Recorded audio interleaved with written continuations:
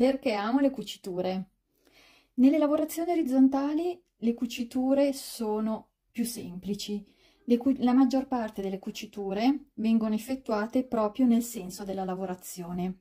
Questa è una manica, qua c'è il polso e ovviamente lavorandola in orizzontale così, non in tondo, ovviamente poi va cucita sotto e eh, la cucitura sarà piuttosto semplice perché è nel senso della lavorazione abbiamo delle bellissime catenelle e quindi il risultato sarà bello e eh, dall'odiare le, le, cuciture sono arrivata mh, mm, quasi ad amarle o comunque a farle con attenzione e cura perché poi il capo eh, ne, ne, riceve sicuramente eh, miglioramenti estetici. Eh, un bel capo con delle brutte cuciture viene completamente rovinato.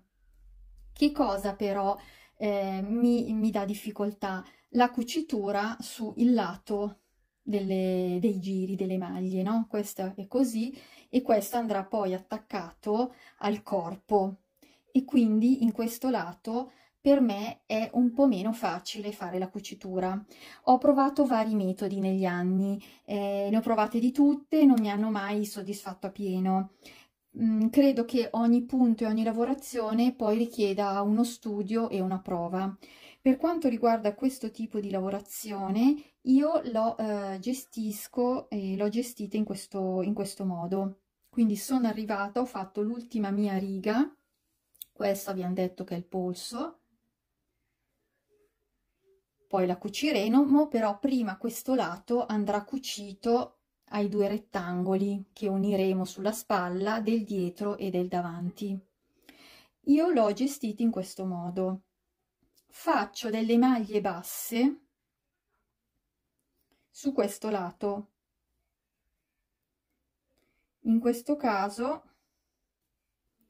in ogni giro. Vedete queste colonnine chiamiamole così ogni colonnina è un giro di andata e ritorno quindi io so che devo entrare diciamo nella colonnina e poi farne un'altra queste righe sono di maglie bassissime, qua invece ci sono le maglie basse e le maglie alte, per quello che è più largo. Però faccio lo stesso una sola maglia, perché ho fatto delle prove e viene correttamente.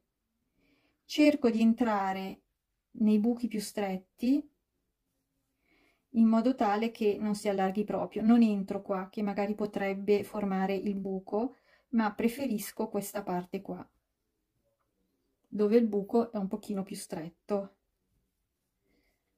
Ovviamente è una mia preferenza questa di fare le maglie basse e ve la condivido se a qualcuno può interessare, ma chi è abituato a fare le cuciture in altro modo e gli vengono bene, soprattutto da valutare le cuciture fatte col lago, perché mh, credo che vengano ancora meglio. Io non amo cucire col lago e quindi faccio tutto con l'uncinetto, anche le cuciture, e, perché ne trovo piacere anche a fare le cuciture usando l'uncinetto, altrimenti mi diventa diciamo un dovere, un passaggio obbligato che però non, non mi dà piacere.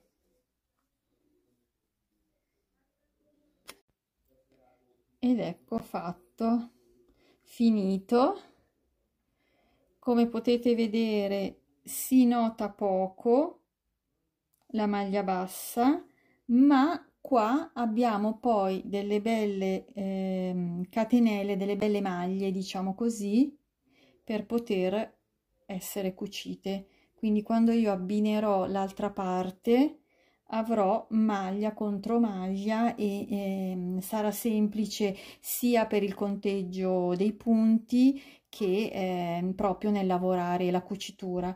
A questo punto si può decidere se fare poi una cucitura vista, quindi sul diritto del lavoro, oppure una cucitura scomparsa, cioè sul retro, dove appunto lavorerò tutte e due le maglie e quindi poi non, non si vedrà nulla.